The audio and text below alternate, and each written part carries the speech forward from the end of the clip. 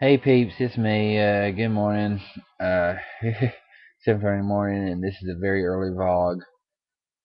Uh, well, I've had another sleepless night. I guess you can tell by my eyes. Uh, my depression's getting worse. I really need to hear from Waylon, and uh, I don't know why he won't call.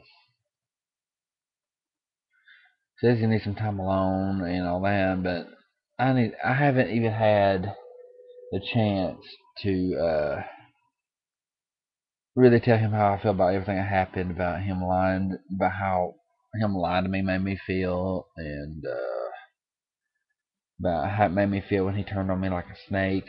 Uh,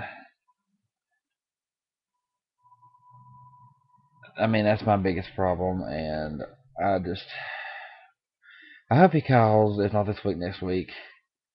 I really need to talk to him. Uh, I, I mean, I'm not gonna cuss him out or nothing like that because I'm not really what you call mad. I'm hurt, but I'm not mad. And uh, but uh, I just need to talk to him as a friend. Uh, I'm not even gonna talk about the situation that much. I just I'll just be happy to hear from him. I I got him a magazine, you know, as a peace offering, but I haven't been able to deliver it yet. Uh, I'm gonna wait till he calls me to deliver it. I'm not gonna just take it over there.